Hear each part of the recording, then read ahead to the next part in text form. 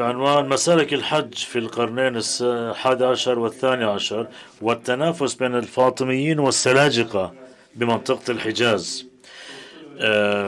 عبد الرحمن قلماز من جامعة قمشهانة كلية الإلهيات. تفضل أستاذ الكريم. أنا أرحيكم السلام عليكم الأساتذة وزملائي زميلاتي.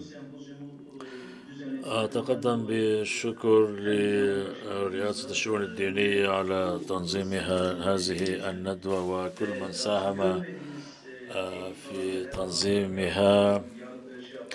والله يكون في عون الجميع. أشكرهم فردا فردا. أنا موضوعي يعني مسالك الحج خلال القرنين الحادي عشر والثاني عشر.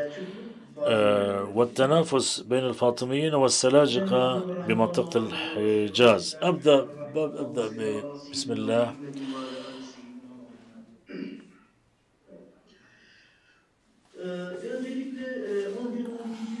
بالنسبة لمسالك الحج في القرنين الحادي عشر والثاني عشر موضوع مهم وموضوع مطول طبعا وخاصة عام 1750 بأبو مسلم عندما بدأت. يعني هناك 30 سنة يعني موضوع الاستخبارات وموضوع التنظيم أبو مسلم الخراساني. هذه طبعا هذه المناهضة جاءت بنهاية عهد العباس الأمويين وبدأ عهد العباسيين. والعباسيين نحو يتوسعون ثقافيا العباسيين لم يكونوا فاتحين مثل مثل مثل الأمويين طبعا. لكن ضعفوا طبعا نتيجة 1156 مثلا. بالنسبة لنهاية القرن التاسع عشر نهاية القرن التاسع الميلادي مثلا نرى أن لا يمكن يفرضوا تأثيرهم على مكة والمدينة. لأن من الناحية السياسية والدينية بعد القرن العاشر مثلا دخلت لهيمنة الفاطميين بمكة والمدينة. والحرمين أيضا والحرمين يعني من الناحية الدينية والسياسية للفاطميين ك ك من حيث الاهتمام. فإذا الخليفة العباسي وهو يعرقل الحجاج العراقيين مثلا من الوصول إلى الحج مثلا. من أداء هذه الفريضة أحيانا. أبو العباس القادر مثلا ألف عام ألف وستة مثلا يبعث برسالة إلى شريف مكة ويقول أن يطلب السماح للحجاج العراقيين والخليفة الفاطمي الحاكم آنذاك. يقبل ذلك لكن بشرط القراءة باسمه يعني. في 1020 عام 1020 يعني. جاء الحجاج العراقيون إلى الحج لكن تعرضوا أكثر من مرة للعراقيل. فالعباسيين آنذاك لم يكونوا بتلك القدرة الكافية للتنافس ضد الفاطميين مثلا. فهنا يعني لمئة سنة تقريبا من عفوا من عام 945 بدأت الحقبة السلجوقية الخلفاء السلجوقيين الخلفاء العباسيين يتسمون بالصبغة الدينية فقط لكن القيادة العسكرية للسلاجقة فهنا العالم الإسلامي يعني بدءا من القرن الحادي عشر الدولة السلجوقية بدأت تظهر كقوة جديدة في خراسان كقوة قوية. يعني فانتصروا على غزنة في حرب دندنكان 1040 دندنكان 1040 من أفغانستان في غزنة وبدأوا بآسيا الوسطى. دخلوا إلى دخلت السلاجقة دخل السلاجقة للأرض الأراضي الإيرانية. وهناك سلاجقين سلجوقيين أو سلاجقة مسلمين وشوافع طبعا اعتنقوا الإسلام و بين المذهب الشافعي. وبنوا علاقات مع الشيعة الفاطميين أيضا في عام 1035 تم الاتصال.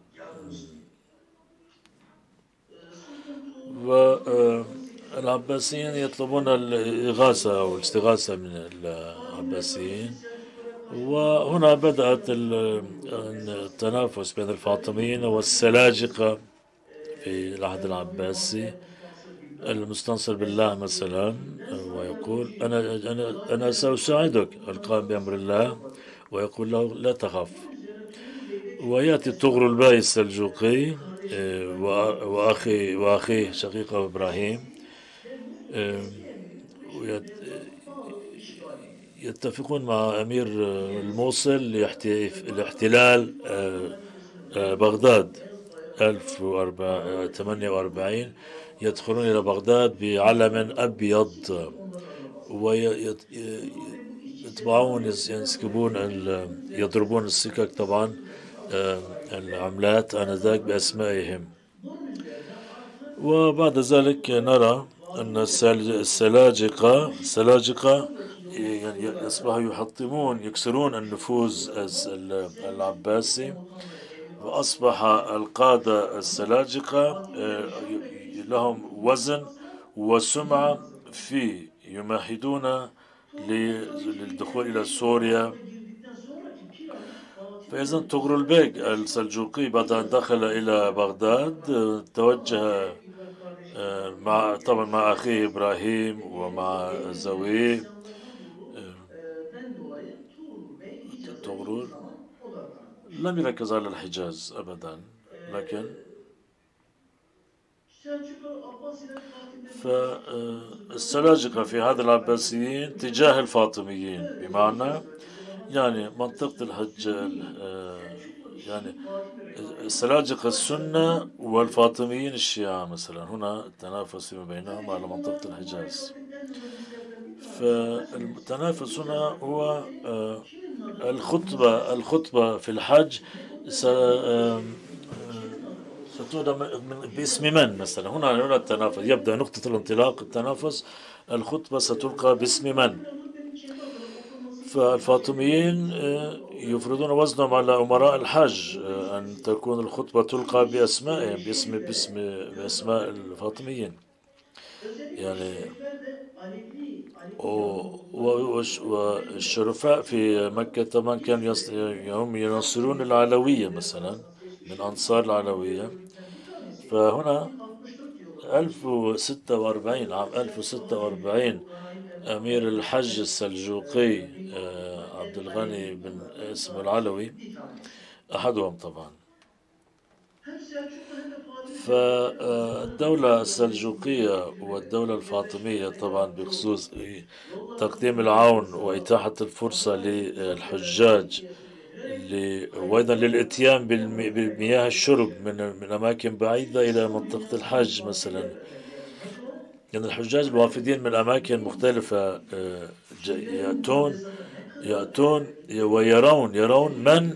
هم شهود عيان الحجاج شهود عيان على على الدول التي تقدم الخدمات لهذه الأماكن المقدسة بمعنى. وهم الفاطميون طبعا. فإذا هنا عام 1052 و 1071 نتيجة الكوارث الطبيعية والجفاف الذي عم مصر مثلا وزلازل ضربت بمصر آنذاك مثلا مرتين. فإذا هنا المس... هذا الأمر حال دون تقديم المساعدات من مصر الفاطمية إلى الحجاز. والفاطميون فقدوا وزنهم بهذه الطريقة بهذه وأن من الناحية المذهبية الشيعية مثلا استنجدوا بالصليحي حاكم اليمن مثلا. حاولوا الموضوع إلى حاكم اليمن. هم يبعث بدنانير 2000 دينار لشرفاء الحجاز. وأمير اليمن. طبعا حدث بعض التأخر في وصول المساعدات. إذا ما شريف مكة يأخذ بهذه الذهب الذهبات ويبيع كل المقتنيات الذهبية مثلا ويبيعها وعام 1070 يبيع كل القناديل الفضية والذهبية والمقتنيات يبيعها.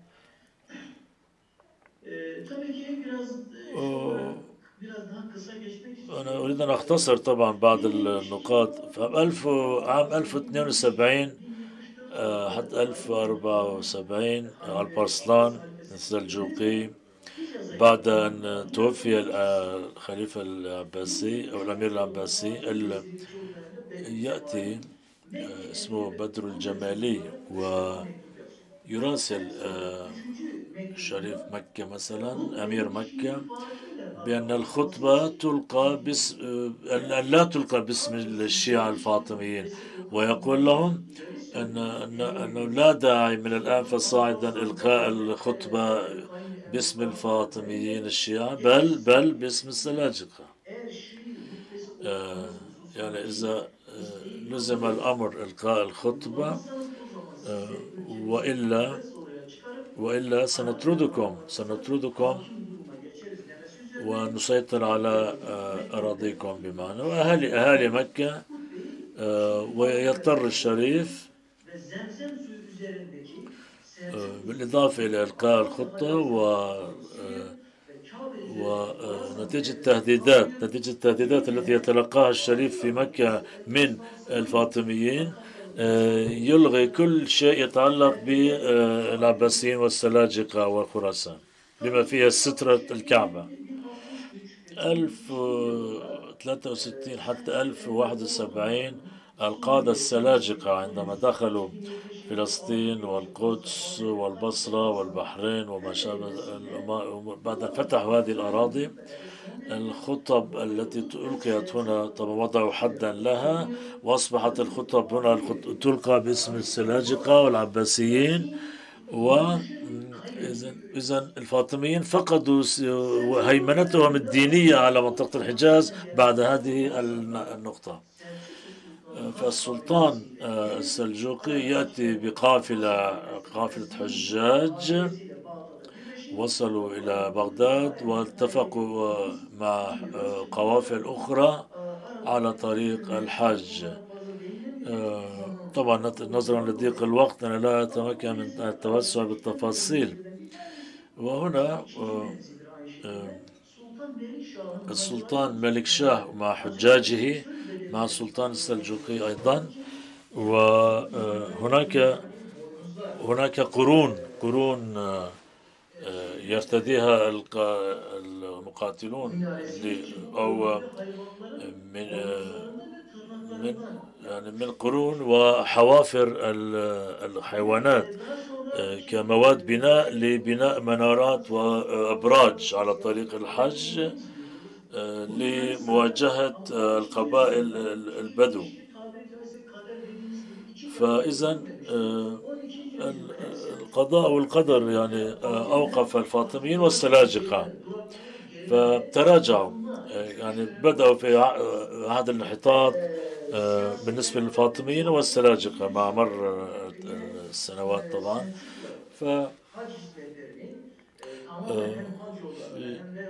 بالنسبة للسلاجقة يواصلون دعمهم ومساعداتهم لطريق الحج. لكن مع نهاية القرن الثاني عشر آه، نرى أن الكوارث الطبيعية مثلا آه، بعض الكوارث الطبيعية نتيجة ويقال مثلا آه، نتيجة المجاعة والقحط والمحل لم يأتي ولا حاج مثلا في إحدى السنوات. آه، نتيجة آه، القحط والمحل كما قلنا. فبالنسبة للتنافس آه، الفاطمي بين الفاطميين والسلاجقة في كعبة مثلا والسيطرة على الحج وموضوع إلقاء الخطب والدخول إلى هذه الأماكن المقدسة وفرض الهيمنة والوزن والسمعة. فالتنافس هنا يزداد حدة. يعني كل من يرسل سترة الكعبة ويتم إلقاء الخطبة باسمه هو الذي يفرض هيمنته. إذا فعام 1099 في شهر رمضان عندما جاء الصليبيون على وهاجموا أراضي آه، السلاجقة والفاطميين. أيضا الحجاج لم يتمكنوا من الذهاب إلى الحج في تلك الحقبة أيضا. نتيجة الحروب الصليبية. وبعد آه، وأيضا الفاطميين نرى أن هناك حث يعني حث يحثون الصليبيين للتهجم على السلاجقة في سوريا مثلا. أيضا كان هناك آه، توقف الحجاج عن آه، أداء هذه الفريضة بسبب هذه الحروب. ونظر هناك هجمات قطاع طرق ومن قبل بعض القبائل العربية البدو أيضا. و والشعراء مثلا آه، يذكر في ذكرياته أن هناك مرض الطاعون الذي آه، انتشر وعم عم على آه، الحجاج على طريق الحج وتوفوا طبعا. وأن البدو البدو الصحارى مثلا بدو الصحراء كانوا آه، يقطعون الطرق ويغتنمون آه، يغتنمون. وكان يقول آه، القادة كانوا يقولون يعني يشجبون هذه الهجمات ويقول في أبياته الشعرية وبقصائده ابتعدوا ابتعدوا أيها العرب اللصوص عن قطاع عن قطع الطرق وعن اغتنام هذه الأمور إنها مال الله. طبعا لا يمكن أن تذهبوا إلى الجنة بهذه الطريقة بمعنى يعني. ما مفاده صلاح الدين الأيوبي تسلم منصب وزاري في الدولة الفاطمية وهو يوضع الحد عام 1171 يضع الحد لإلقاء الخطب باسم الفاطميين. فإذا آه، التنافس بين السلاجقة والفاطميين تنتهي في هذا آه، في هذا الوقت. يعني في نهاية القرن الثاني عشر. فالأيوبيون سنة والسلاجقة سنة. هذا هنا آه، الفاط نجاح نتيجة نجاح السلاجقة إذا شكرا لحسن استماعكم وشكرا طابت أوقاتكم بأمان الله جمعا مباركة. نعم وبدورنا نشكر لك الأستاذ عبد الرحمن قلماز من كلية الإلهيات في جامعة قمشانة